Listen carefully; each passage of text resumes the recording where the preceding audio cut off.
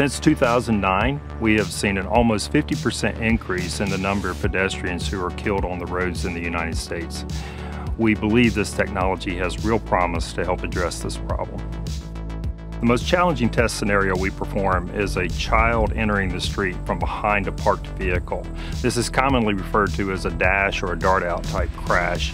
The vehicle has less time to react. The sensors on the vehicle are obstructed by the vehicles that are parked and therefore there's less time for the software to detect there's a pedestrian there and then be able to stop the vehicle and not strike the pedestrian.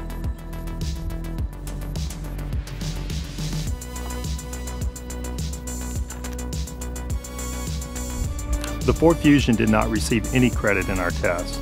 It had particular difficulty in the child crossing the street scenario, not slowing down in any of those tests.